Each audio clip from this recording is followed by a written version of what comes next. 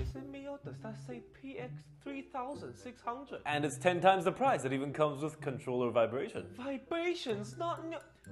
My vacuum cleaner has built-in vibration, huh? You know what? Never mind. Just What would you need a vibration for?